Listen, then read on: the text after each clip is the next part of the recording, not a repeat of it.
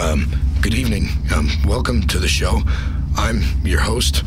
Uh, uh, I'm a fire in my lady. do I have to pay for that?